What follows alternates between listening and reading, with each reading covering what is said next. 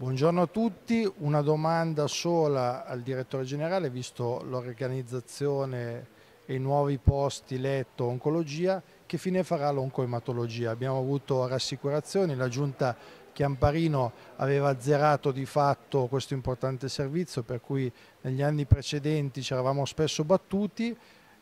i bravi oncoematologi erano ormai annacquati nei reparti di medicina, abbiamo delle professionalità importanti a partire da Fabio Ardizzone che è un medico che non ha bisogno certo di presentazioni, sono persone e valori che vanno assolutamente tutelati. Sono stato contento della risposta e quindi sono sicuro che con questa riorganizzazione sia l'oncologia che l'oncoematologia nei prossimi mesi avranno una spinta in più.